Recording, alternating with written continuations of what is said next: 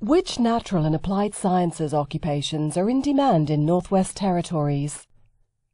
Out of the natural and applied sciences occupations in Northwest Territories, architects, urban planners, and land surveyors are currently in demand and will continue to be over the next decade.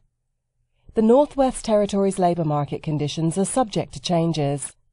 This video was current as of October 2013. To resolve your issue, go to immigroup.com. For everything you need to know about this process, click the hyperlink or call the number below this video.